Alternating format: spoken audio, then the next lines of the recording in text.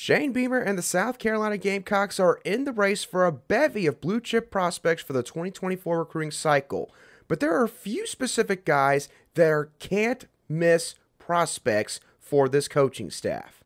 You are Locked On Gamecocks, your daily podcast on the South Carolina Gamecocks, part of the Locked On Podcast Network. Your team every day.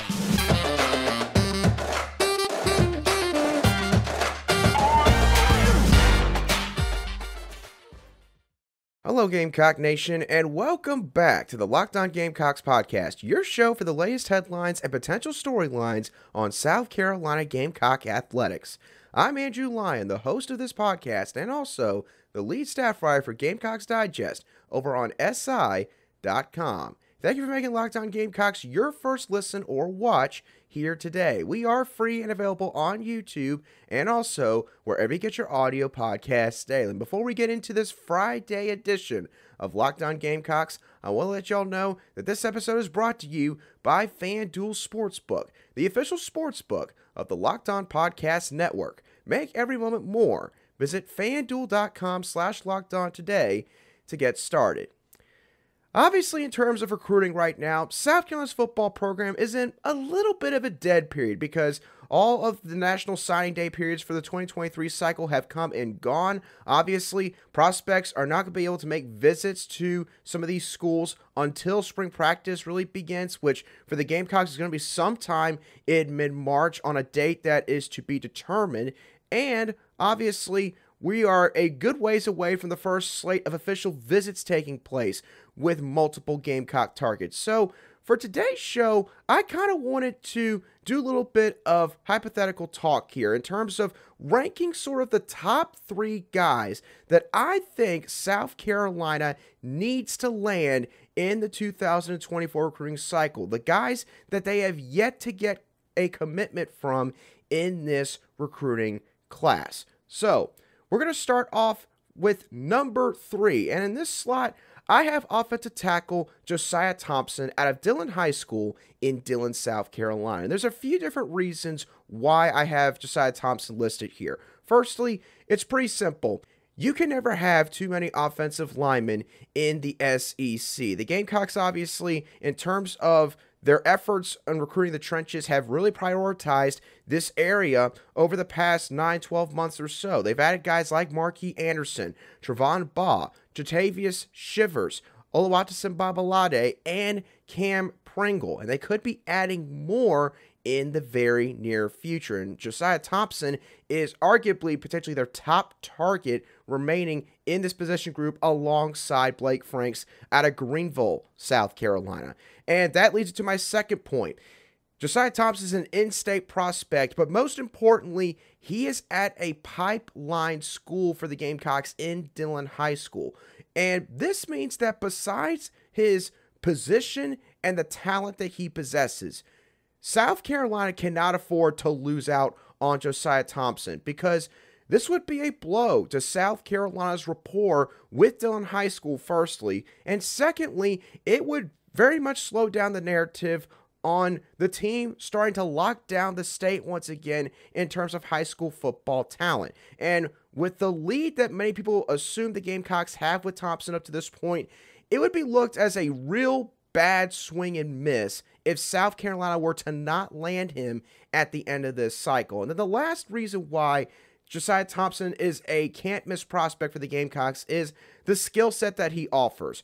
In terms of athleticism as an offensive lineman, Josiah Thompson is probably one of the best in the 2024 recruiting class. He's a kid that fires off the ball much quicker than most at his position. And he is a road grader in the running game, but he also possesses enough athletic and skill set traits for his position to be a potential solid pass protector at the left tackle position at the next level. So he's got the ability to be really good in both the running game and passing game. And again, he's got a lot of athleticism to boot. That's not something that you see grow on trees quite often with offensive linemen. So Josiah Thompson, the third highest ranked can't miss prospect for Shane Beamer and the Gamecocks. At number two, this is a new name that I have not mentioned yet on this show, and I'll give y'all some quick context after I mention him. Wide receiver Parker Livingstone out of 5A Lovejoy High School in Lucas, Texas. Now, for the context behind this prospect, Parker Livingstone does have an offer from South Carolina, but the thing is, there was a report that came out back on February 20th from On3 recruiting analyst Sam Spiegelman. And the report by Sam basically was talking about how Parker is planning to take a bunch of spring visits to some schools that he hasn't really seen yet. And one of those schools apparently is South Carolina. The exact date, again, has not been finalized yet, but Parker has basically made it clear that he wants to make it on over to Columbia to check out the program in a much closer vantage point. So, why do I have Parker Livingstone slotted here at number two?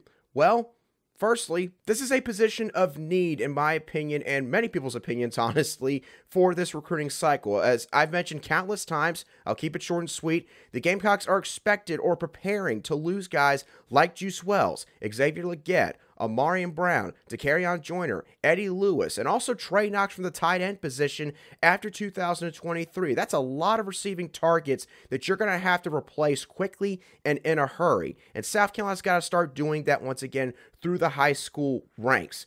The second reason why I've got Livingstone listed here he has got a real impressive combination of both size and athleticism. He's listed six foot three to six foot four and between 185 to 190 pounds. And the thing is, South Carolina has got to get some more bigger body receivers on this roster. It's the main reason why I listed him here over Jonathan Paylor, who's another big time receiver target out of North Carolina. And the other thing is, He's not just all size. Parker Livingstone has got the athleticism to go along with it. He's got elite speed and acceleration. At one point in his junior season, on a particular play, he was recorded running 22.5 miles per hour down the field. And he also happens to run track and field for the Lovejoy Leopards as well. And the other thing is this he's got spectacular ball skills. He can go out there and snag footballs with one hand. He can catch footballs with a defender right on him, contorting his body and adjusting to the ball depending on where it is going. And he can also jump over defenders and catch the football, basically mossing them with his six foot three to six foot four frame. And the last reason why South Carolina would have a chance to utilize some connections here to make another sort of quote unquote shocking pickup. Because here's the thing this is a kid out of Texas. He's been offered by teams like Texas, Texas A&M, Baylor, LSU, Georgia, amongst many others. And so this is another opportunity for Shane Beamer and South Carolina's football coaching staff to add another feather to their cap by getting a recruiting win here in an area that sort of has not been a predominant spot in the recruiting base in years past. And they got Justin Stepp in on this recruitment. We've talked about it before. Justin Stepp is a relentless recruiter. He is a guy that really cares about building relationships with his targets, and he's always noted by the guys that he's going after as someone that they really enjoy talking to, and the fact that he cares about more than just a football player. But Livingstone's also got a prior relationship with offensive coordinator Dowell Loggains from the time that Loggains spent at Arkansas. And this was all according to 24 7 Sports, with their profile on Parker Livingstone. So basically, get to know the name Parker Livingstone because this is a big time wide receiver target that we're going to need to pay attention to moving forward in this process. So, those are the number three and number two can't miss prospects for Shane Beamer and South Carolina's football program in the 2024 recruiting cycle. Who is number one? We're going to dive into that and a lot more in some of the other major sports in just a couple moments right here on Locked On Gamecocks. Today's show is brought to you by FanDuel. The midway point of the NBA season is here, and now is the perfect time to download FanDuel, America's number one sports book, because new customers get a no sweat first bet up to $1,000. That's bonus bets back if your first bet doesn't win. Just download the FanDuel Sportsbook app. It's safe, it's secure, and it's super easy to use. And you can bet on quite literally anything that you put your mind to, from the money line to point scores, maybe to three pointers made in a basketball game. And FanDuel will let you combine your bets for a chance at a bigger payout with a same game parlay. So don't miss out on your chance to get your no sweat first bet up to $1,000 in bonus bets when you go to fanduel.com slash locked on. That's fanduel.com slash locked on to learn more. Make every moment more with Fanduel, an official sports betting partner of the NBA.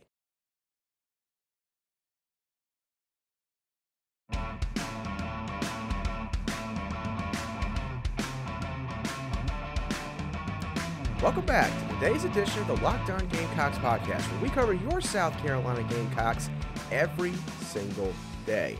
Thank you for making Locked On Gamecocks your first listen here today. Make sure you check out our brand new podcast, Locked On College Basketball, where you'll find everything you need to know about college basketball in just one place. Plus, you'll hear from big name experts, insiders, coaches, and players. Locked On College Basketball is available on YouTube and wherever you get your podcasts. All right.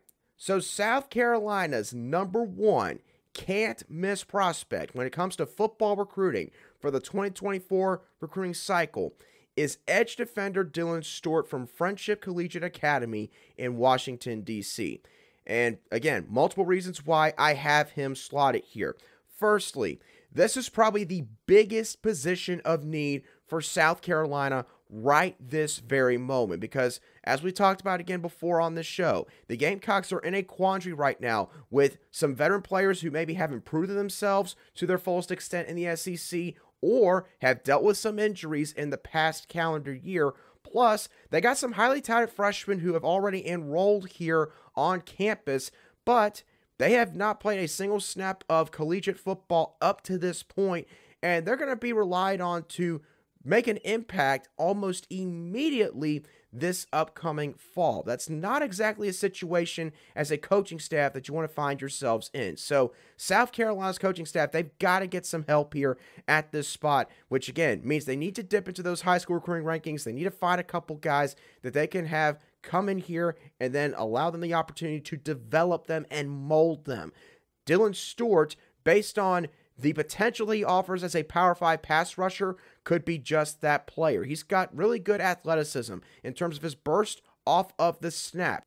He's also extremely fluid in terms of his change of direction. He goes from running upfield to moving laterally within like a half second, and he makes it seem a lot more seamless than just about anybody else that plays his position in this recruiting class. And he's also got a very high motor in terms of pursuing the ball carrier from the opposite side of the field with plays that are run away from him. But the thing is, like Desmond Umeozulu, when he was playing some football up there in the DMV region at a private school this past year, he's got really solid technique to go with his athleticism.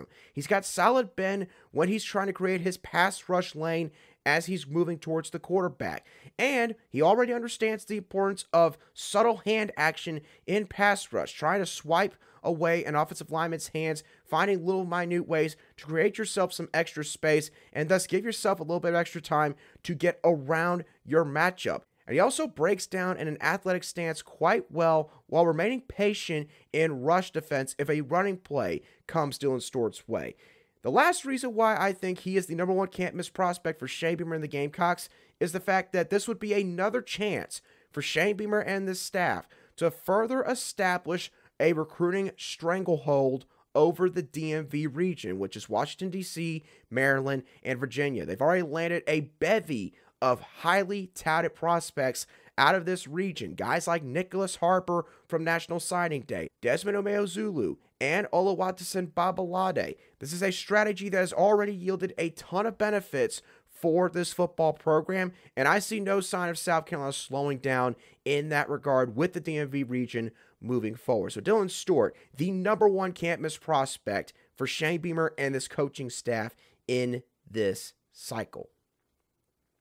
Now that we've talked about some football recruiting, let's real quickly pan over to the women's basketball front as Dawn Staley and South Carolina's women's basketball team accomplished one of their bare minimum goals on Thursday night, clinching a share of the SEC regular season title by defeating the Tennessee Volunteers 73 to 60 in a game where the Gamecocks produced a much more balanced and collective team effort on both sides of the ball, which led the way to a solid bounce back performance after, again, they narrowly escaped against the Ole Miss Rebels this past Sunday. Against Ole Miss, South Carolina only had two players reach double figures in scoring. Zia Cooke had 24 points and Aliyah Boston scored 13 points in that respective contest. But against the Tennessee Volunteers, South Carolina had four Gamecocks reach double figures in scoring. Zia Cooke had 19 points. Kierra Fletcher produced 15 points. And Aliyah Boston Brea Beal both ended up mustering up 11 points in their own right on Thursday night. This balanced performance was needed because of how the Volunteers played Aliyah Boston, with Boston seeing double teams and triple teams at times went down on the low block. So South Carolina's guards had to adjust pretty quickly and they got off to a pretty bad start. They were down 19 to 10 at the end of the first quarter, but about midway from the second quarter onward, it was pretty much all South Carolina. Zia Cooke was a microcosm of this. She had zero points in the first 10 minutes of action, but halfway through the second quarter, she was a real spark on the offensive end for South Carolina. She got some open looks from behind the three point line, and she hit a couple of those shots, which basically opened up some driving lanes. And Zia Cooke took advantage of that by going to the basket and making some tough layups, going through contact. And then that ended up opening up some space in the mid range for Zia Cooke, coming off of screens, basically using some subtle hesitations and some stop and pop moves with her own ball handling. Zia Cooke is one of those unique players that can basically open up every area of the floor for herself. And she wound up doing that on Thursday night against the Tennessee Volunteers, which again was desperately needed by that five minute mark in the second quarter when the Gamecocks were still down by, I believe, somewhere between 8 to 10 points or so. Kierra Fletcher made a significant impact on Thursday night. She was being left wide open on offense at the beginning of the game, and she was quite hesitant to take any shots. But in the second quarter, Kierra Fletcher sort of just decided, you know what? If you're going to give me this much space, I'll start taking some of these shots. And she was nailing them in the second quarter. She hit two three pointers, one from each of the top wings on either side of the floor, and this gave her a boost in her confidence offensively. She started taking the ball more inside, and she also, like Zia Cooke, hit some pretty sweet mid range jump shots, a fadeaway, and again, some mid range jump shots off some screens, some set plays written down by Dawn Staley and this coaching staff. So props here Fletcher for really showing up on this end as well. Aliyah Boston, as I alluded to earlier, she had to pretty much earn everything that she got on Thursday night. Had a lot of physical play inside. Some of it seemed like it was a touch egregious, but that's a compliment to the abilities that she offers on the floor. She did manage to get things going in the second half in terms of creating some good shot opportunities for herself out of the low post. So, again, not the stat line maybe that people would normally expect, but it wasn't without a really solid fight from Aliyah Boston, considering what Tennessee was doing to her on that end of the floor. Brea Beal, a great all around performance by her. She made her presence felt everywhere on Thursday night. She struggled early, admittedly, because she missed a bunch of wide open three point shots, but she adjusted to that. She started driving more to the hoop. She used her body to shield the basketball and was very crafty in creating her own shot, drawing fouls and getting to the free throw line. She was a menace on the boards. She was the only Gamecock on Thursday night to record a double double. And she also made some good decisions on offense in terms of knowing when to get the ball to her teammates that were in an advantageous situation. She got five assists on that end of the floor. So, essentially, with this balanced performance that South Carolina got out of their starting lineup on Thursday night, and being just four games away at most from the NCAA tournament, these are the kind of performances that South Carolina needs to see from their team going forward in order to have a shot to win their second straight national title. And against a team like Tennessee, I think that it was a really good precursor to how this team could end up rounding into form in March. All right, now let's switch gears and talk about South Carolina's baseball team and what they're going to be going up against this upcoming weekend against the Penn Quakers from the Ivy League. Now, I will say this the Gamecocks have gotten off to a great start this season, and we all, of course, know this based on how they have won each of their first five games against UMass Lowell, Winthrop, and then Queens University from North Carolina. But South Carolina cannot afford to sleep on the Penn Quakers. In 2022, Penn went 33 and 15 with their win-loss record, and they won series on the road against teams like Texas A&M, College of Charleston, and also Winthrop in non-conference play. So this is a team that is not afraid to go down south and take on some of these more predominantly known teams in college baseball. And when you're talking about their team heading into this season, the batting lab returns five of their seven primary starters from this past season, including Wyatt Henseler, who batted 383 in 188 plate appearances and had an OPS of 1.184, just an astonishing high number, no matter what level of baseball you're talking about. And he also hit 14 homers to boot. This team, based on their stats from last season, has a gorilla ball approach at the plate. They can draw some walks every now and then, but this is a lineup that is willing to live and die by the long ball. This is going to be something in particular to watch with Will Sanders later this afternoon because if there's one sort of negative in Will Sanders' game, it's the fact that when Will Sanders is not completely locked in in terms of his command of his pitches, he has had a propensity since the start of last season to essentially throw some pitches right over the heart of the plate and basically allow some opposing batters to just clobber them out into the outfield and out of the park for home runs. And and giving up a lot of solo homers, two run homers every now and then. This is the kind of lineup that can make Will Sanders pay for that if he has that kind of game again later this afternoon.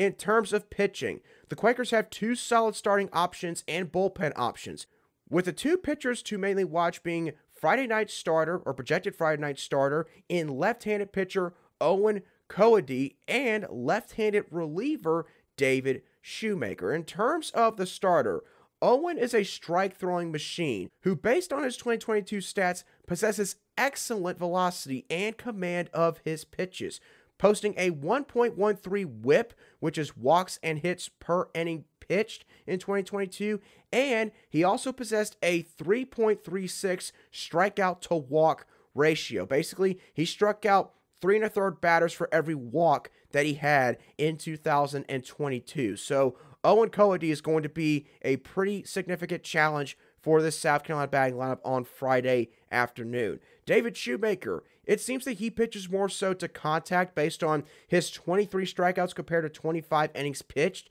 in 2022, but he finished with a team low 2.16 ERA out of all the pitchers that pitched for more than five and a third innings this past spring for the Quakers. So the Quakers have some decent pitching options to go along with their gorilla ball batting lineup. So for South Carolina's batting lineup this weekend, Friday is going to be a battle, as I mentioned earlier, with Owens on the mound. And their patience is going to be tested to a much greater degree. It's easy to have plate discipline when you know that you're going to be facing pitchers that are going to have some issues with their accuracy, with their command of their pitches. But when you're facing a guy like Owen Coady, who, again, based on his stats last year, seems to be a guy that has maybe some good action or good velocity along with good command, it's going to be interesting to see what the plate approach is like collectively from South Carolina's batting lineup. The emphasis is going to need to be waiting on the right pitch for these batters because if they can get to the Quakers pitching staff early and often this weekend, it could be another solid weekend for the Gamecocks, and who knows? I would not put it out of the realm of possibility that they could sweep the Penn Quakers. But if they don't do that, then it could be a much more significant challenge from the beginning all the way to the end. For South Carolina's pitching staff, the consequences for any flagrant misses with their pitches is going to be more amplified this weekend. Will Sanders again is going to be a pretty good litmus test to see just where this pitching staff might be heading into this series. And South Carolina's top relievers, guys like Cade Austin, Austin Williamson, Nick Proctor, Matthew Becker, Eli Jones, and the other guys as well, they're likely going to need to be leaned on to a much more significant degree this upcoming weekend because, again, Penn's got multiple solid bats in their lineup and guys that can hit the ball out of the yard. So, needless to say, This is not UMass Lowell. This is not Winthrop. This is not Queens, North Carolina. And no, it's not an SEC opponent, but it is an opponent that, again, like UMass Lowell, was one game away from making it to the NCAA regionals last season, and a team that went 33 and 15 a year ago. So this is going to be a very intriguing matchup between South Carolina and Penn this upcoming weekend, and it'll be interesting to see how the batting lineup and pitching staff again adjust to this higher level of difficulty with the Penn Quakers. But with that being said, y'all, that is going to do it for today's show of the Locked On Gamecocks podcast. I hope y'all thoroughly enjoyed today's show as always. Regarding football recruiting for South Carolina, who are your three can't miss prospects for the Gamecocks in this class? Who do you think the Gamecocks need to land? Also, what were your thoughts on South Carolina's women's basketball team and their performance against the Tennessee Volunteers in clinching a share of the SEC regular season title on Thursday night. And lastly, for those of you who are going to be watching the series this weekend between South Carolina and the Penn Quakers, what are your thoughts on the series? Do you think that Penn is going to provide a much more difficult challenge for the Gamecocks? Let me know your thoughts as always down below in the comments section if you're watching today's show on YouTube or if you listen to today's show on an audio podcast app. You could shoot me a message at a line underscore SC on Twitter, and I'll try to respond to your message as quickly as I see it. And once again, don't forget to make Locked On College Basketball your second listen or watch now that you have watched or listened to the Locked On Gamecocks podcast. But once again, that does it for me on today's show. Have a great rest of your Friday and a fantastic weekend. And I will catch y'all on the next show of the Locked On Gamecocks podcast.